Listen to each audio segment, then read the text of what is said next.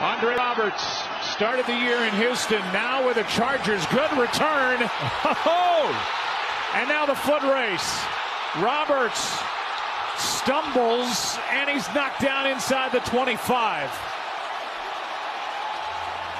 What a start for the Chargers.